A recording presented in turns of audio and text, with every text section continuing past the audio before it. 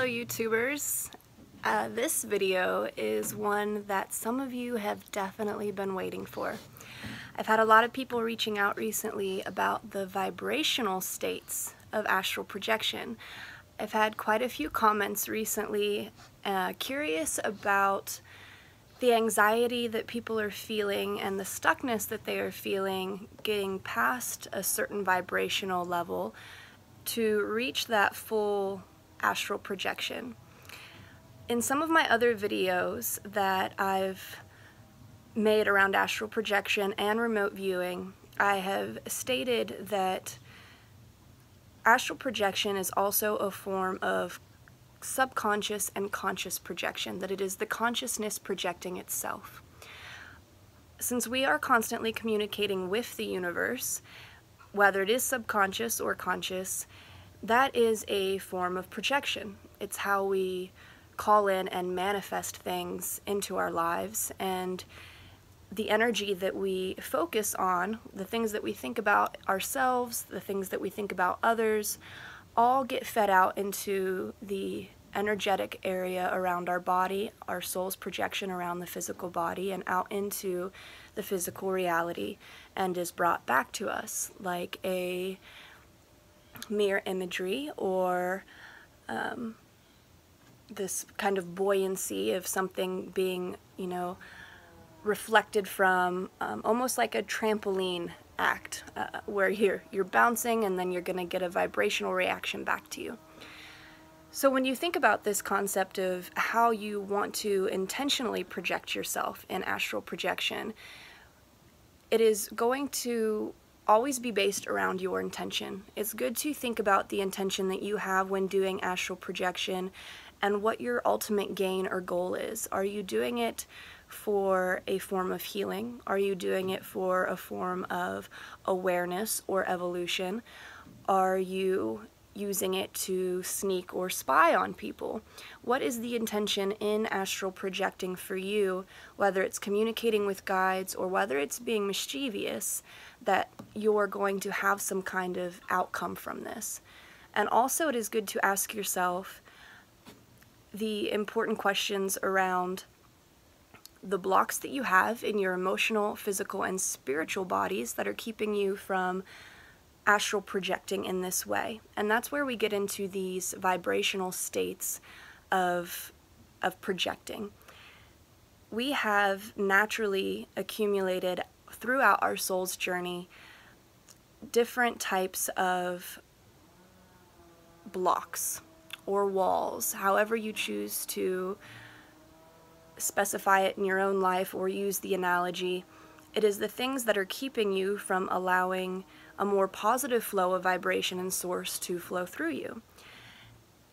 In that aspect, to positively do an astral projection, it is good to focus on your own meditative and healing state to get the results that you're looking for.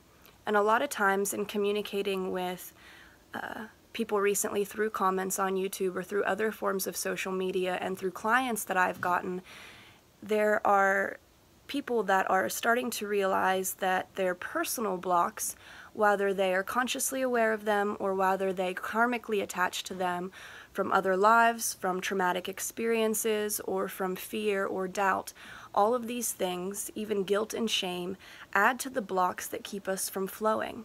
Now, these things get talked about and brought up in everyday life with any type of healing process that takes place. It is also something that is very important to become aware of and being proactive about when wanting to positively astrally project um, to higher vibrational states or through the soul's journey and experience and through memory by addressing these things that are in your own well being. I talked to someone recently who had left a comment about the vibrational state that he got to. He felt this immense shaking and intensity of stuck feeling is almost to break through a specific wall to get to this next level of astral projection but for the heart to speed up and to start to get into a place of anxiousness, to go from the calm to the anxious level. Now, there's a lot of theories that have been coming up, especially with religious people, around astral projection and the negative or lower vibrational entities that come into the forefront of our mind or into our existence when trying to utilize um, and astrally project ourselves or consciously project ourselves in any way. And a lot of this stems from the people that have commonly experienced sleep paralysis and have experienced sharp, dark shadows or figures coming to them and threatening them or holding them down or keeping them unempowered and stuck and unable to take it upon themselves to get the willpower that they need to get out of that stuck place.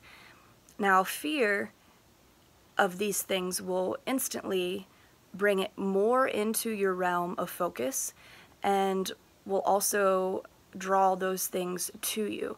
By being able to acknowledge the dark entities and the shadows in a way that you show no fear and you acknowledge it as other parts of yourself that are attached to these things that need to cleanse or purify or release this type of energy is very, very important. You don't want to have doubt, you don't want to have fear, and you want to give yourself your own free will back, your own power back. When trying to find body soul oneness and the balance in our lives in this physical existence, and knowing that we are soul creatures made up in a material world, it's important to give yourself your power back and to use the power of your word to claim what you do and do not want. It is very important in any activity that you do, whether it's astral projection, healing your emotional, physical, or spiritual bodies, or manifesting your personal life, your career life, your love life, whatever the goal of attainment or the intention may be, you want to use the power of your word to speak into your energy fields what it is that you are wanting, which goes back into that intention. And that is very important for us to be able to move through different layers of vibration from lower to higher, we have to address the things that are causing an imbalance in our own vibrational field before we can comfortably project ourselves into any other type of dimension or reality. Now, since our souls are consciously projecting always and on a subconscious level, utilizing that power of your word allows you to gain that self control back and that power of will back.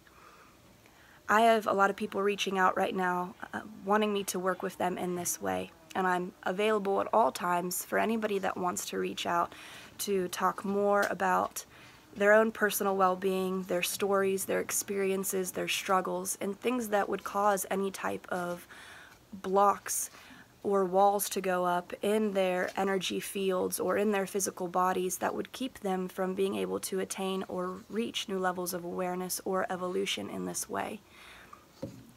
As well, a good thing to remember when it comes to these blocks and these walls that are up, these things that are keeping you from progressing or making you feel stuck in some way, it is good to remind yourself that joy, ecstasy, happiness, bliss, all these beautiful, positive vibrational emotions and things that make up the joy that we experience in this physical reality is something that flows through the entire universe. It is not a weight that you have to put on yourself to create this within yourself. It is not a pressure that you need to put on yourself to manifest these things. Ecstasy, joy, and bliss flow through you. All you have to do is be open to receiving it and allowing it to flow through you.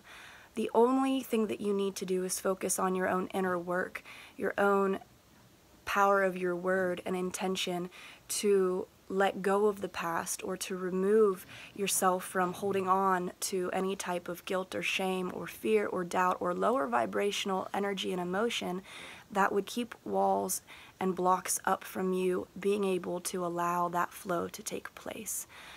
Always remember to be grateful for the ability that you have as a creation from source, as we are all from source, to have a constant connection to source power and to source light to flow through you.